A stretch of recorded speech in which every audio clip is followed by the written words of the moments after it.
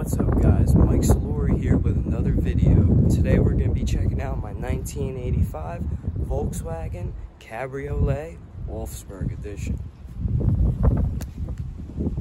So here she is.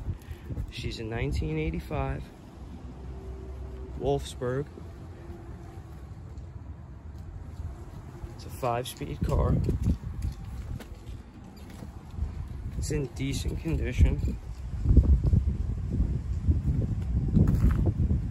Doesn't have a lot of rust.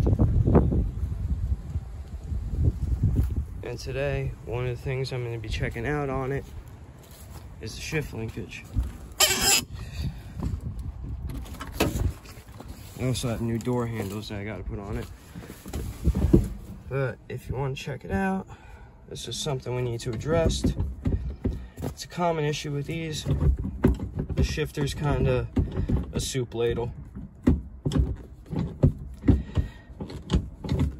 So it just needs uh, bushings. Let's pop the hood on her and check it out. So here's the car. It's pretty clean. Uh, when I got it, it didn't run. We did the spark plugs, wires, distributor cap. It's a cool little car, a little four cylinder. This uh, actually doesn't have fuel injection up here doesn't have like injectors like that. The fuel injection module is actually right here.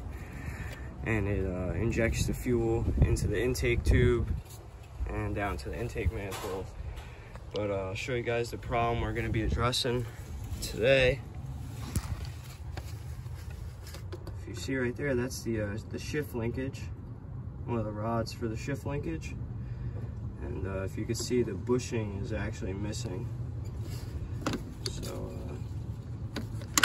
Show you guys how much uh, how much play this thing really has.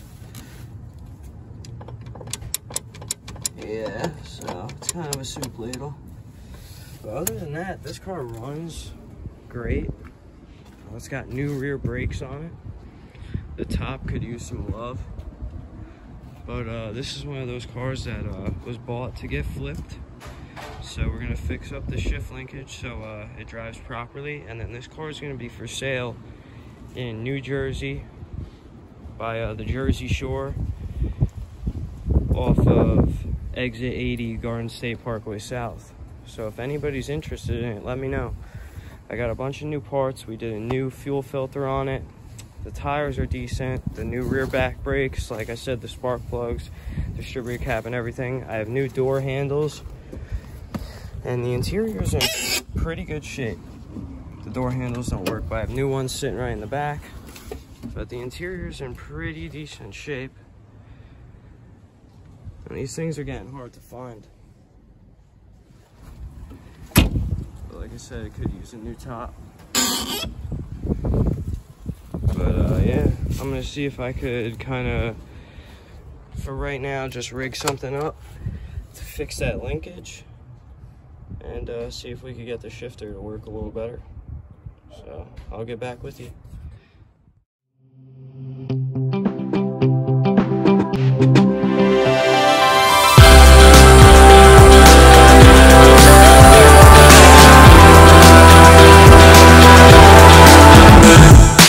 So what I did was I got this piece right here.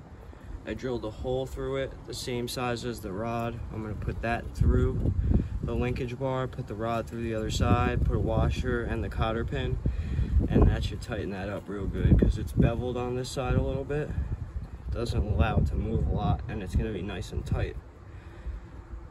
All right, so what I ended up doing was using uh, two pieces, that plastic piece I showed you,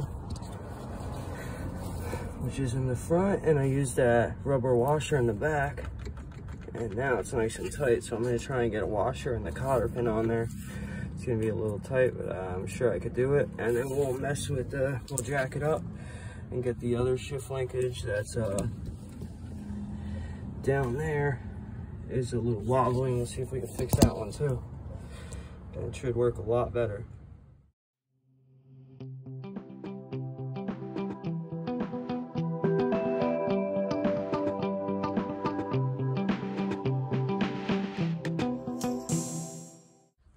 So we got that one all on. Definitely. Now it's a lot tighter. And all we gotta worry about is a piece down there. Oh, uh, clacking back and forth. Let's see how the shifter feels now though.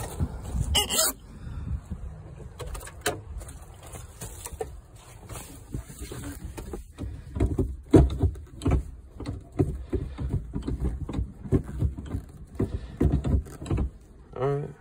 Yeah, it's a little better. Fix the one underneath and we'll be good to go.